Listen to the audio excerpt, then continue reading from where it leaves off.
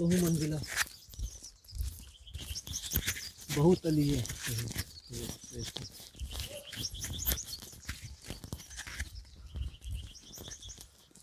तीन तल तो मुझे दिखाई दे रहे हैं इसमें। बिल्कुल है जी। ये सामने उद्यान है इसके।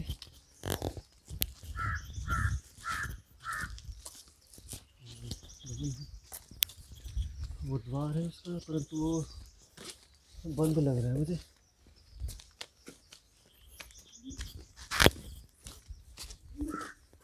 मिनट है। हमीर महल। हमीर महल। हाँ मैं इसमें उधर से आया था। हमीर महल। ये हमीर महल। हमीर महल में वो सामने गेट देख पा रहे हो।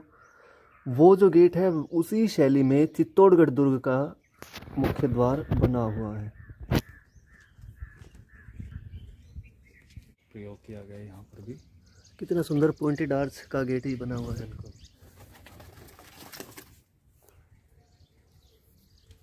अंदर से कुछ देखने की कोशिश कीजिए। ये देखिए लोग यहाँ पे टूटे हुए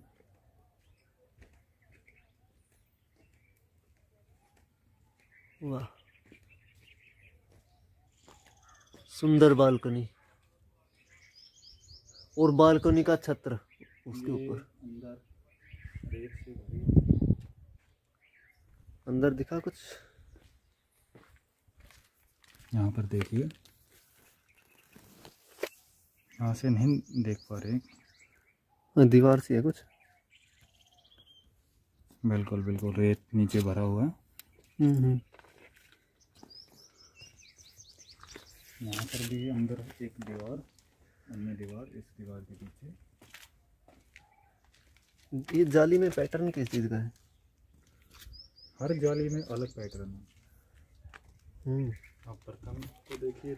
आर्चेज बनाई हुई है नवीन जी, देखिए, ये ऐसी पॉइंटेड आर्च है। इसके ऊपर ही ऐसा डिज़ाइन है। ये भी पॉइंटेड आर्च है। हाँ और उसमें वो देखिए, ये ऐसे ऐसे आधे रास्ते आर्च ला के ऊपर स्लैब डाली गई है।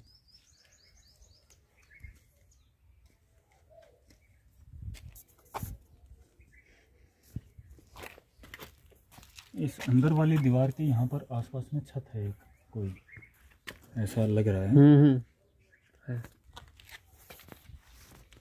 यहाँ पर लोहे का कुछ हाँ ये देखिए इंटरलॉक पत्थरों को जोड़ने के लिए। हम्म। यहाँ से भी दीवार। चूना नवीन जी? बिल्कुल बिल्कुल। ये खाली चूना इसमें कुछ नहीं मिलाया गया। देखिए, बहुत कितना मज़बूत है ये।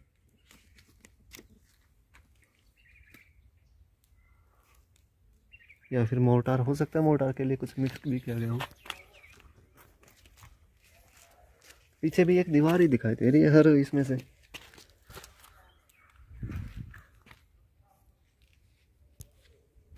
हो सकता है लेयर्स हो दीवार के और मज़बूत।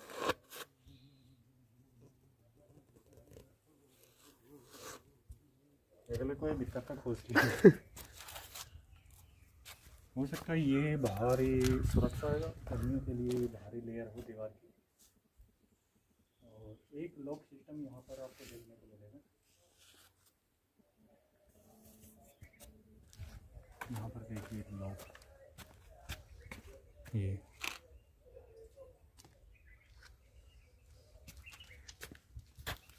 चारों तरफ़ एक दीवार के अंदर दीवार। और यहाँ पर कुछ यस आर्च एक कुछ गुप्त है क्या? उसके अंदर।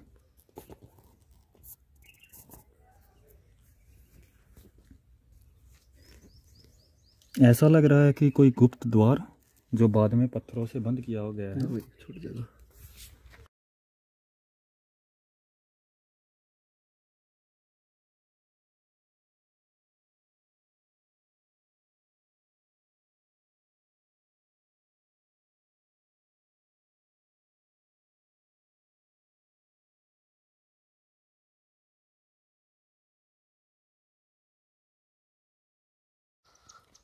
ये सामने खंडित सा भवन है।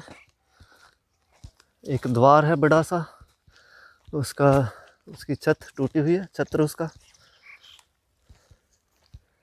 पॉइंटेड आर्च लिंटल पहले लिंटल डाला गया उसके बाद फिर पॉइंटेड आर्च बनाई गई है। दरवाज़ा था यहाँ पर। हाँ यहाँ पर चूल है। ऊपर जैसे नीचे दरवाज़ा उसी तरह का यहाँ पर दरवाज़ा हम्म, जी और इधर ये छत्र रही होगी। ये लिंटल और इसकी ऊपर की आर्च टूटी हुई है।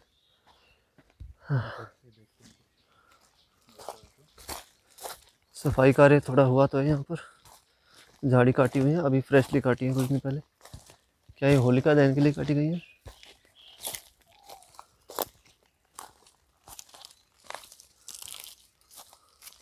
चबूतरा किस चीज़ का है?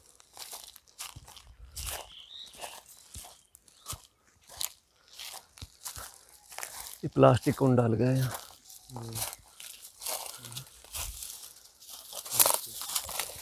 बटेर। तीतर तीतर। हम्म,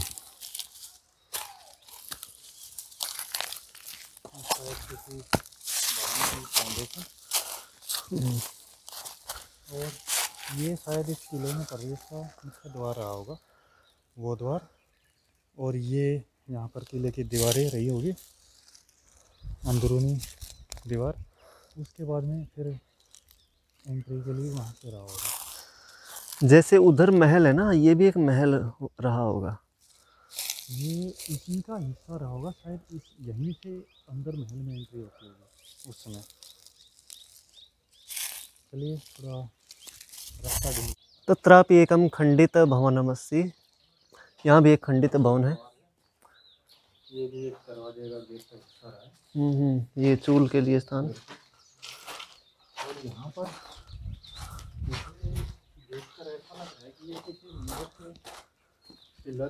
है ये तो मंदिर के ही पिलर्स लग रहे हैं। जैसा आभा नेरी में हमने देखा था कुछ कुछ वैसे ये पिलर्स हैं। हैं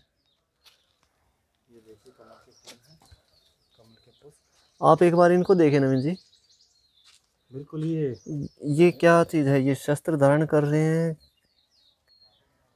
या और कुछ है ये? ये शायद वीणा बजा रहे हैं।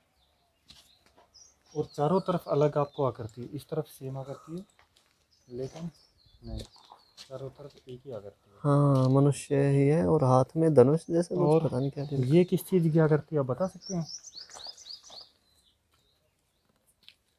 ये मेरे अनुसार तबले की आकृति आप यहाँ से देखिए, उधर से खंडे के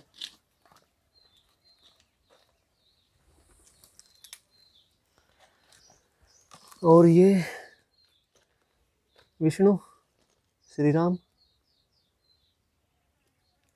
ये विष्णु की ही आकृति प्रतीत होती है। खंडित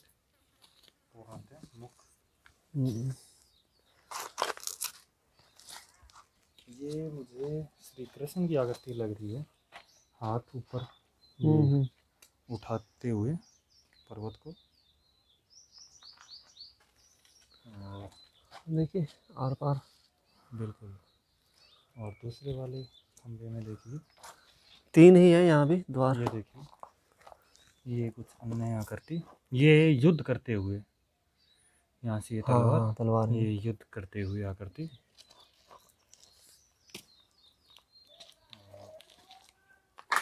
तो ये जो है ना, ये तबले जैसा, ये नगाड़ा है फिर, युद्ध वाला नगाड़ा।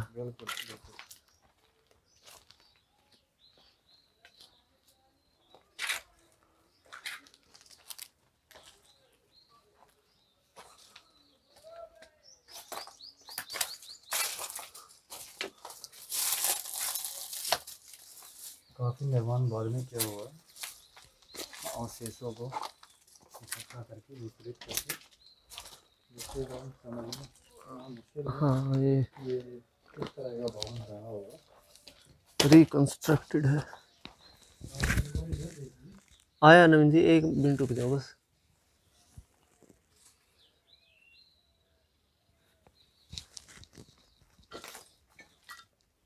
जी। गुप्त होता हुआ और ऊपर तक। हम्म, यहाँ तक इसके ऊपर तक। मैं थोड़ा कोशिश करता हूँ। इसका यहाँ तक है ये। इसकी छत है यहाँ से। गुप्त है ये और ये ना यहाँ कुछ अलमारी वलमारी थी ये। बिल्कुल। पीछे की तरफ़ यहाँ पर भी ये की तरह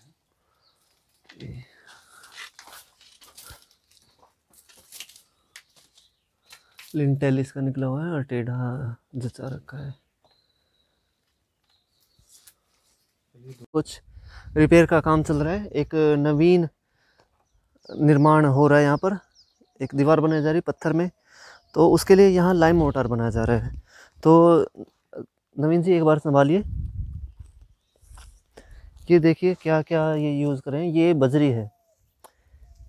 बजरी को छान के ये एज डस्ट यूज़ करेंगे। ये यहाँ लाइम मोटार बना पड़ा है और ये सूख के ख़राब हो जाएगा शीघ्र ही ऐसे ही पड़ा रहा तो। ये बहुत ही टाइट जमा हुआ है। ये लाइम मोटर इनका। ये मशीन है देखिए, ये मिक्सर मशीन है इनकी लाइम मोटर को मिक्स करने के लिए।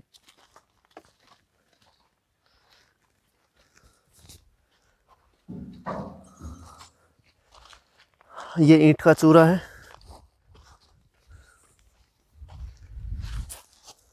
जी ईंट का चूरा है ये। बहुत फाइन नहीं पीसा गया इसको कुछ इसमें मोटे मोटे कण भी मिक्स हैं। यहाँ पर देखिए ये इन्होंने भिगोया है क्विक लाइम को। और यहाँ पर इसमें देखिए क्या क्या मिक्स किया गया है ये क्या है?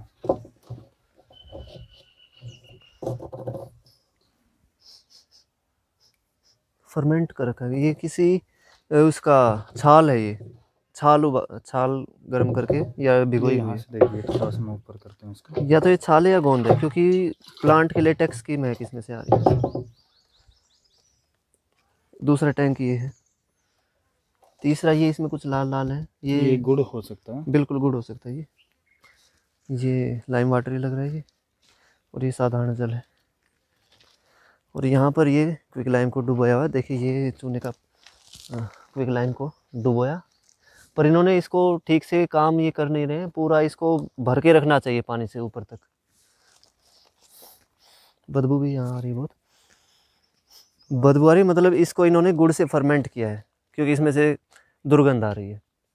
फर्मेंट के कारण ऐसा होता है। और इधर ये है, ये फाइन पार्टिकल्स हैं आई थिंक इसके। दो इन्होंने यहाँ भी सेक्शन बनाए हुए हैं। तो यदि कोई मिला हमें कारीगर तो उससे पूछेंगे क्या क्या है यहाँ पर इन टैंक्स में और क्या रेशो लिया गया है लाइम मोटार बनाने के लिए। चलिए देखते हैं ये कोई भवन है। इसी को, इसी की एक प्राचीर बनाई जा रही है, इसी की दीवार बनाई जा रही है।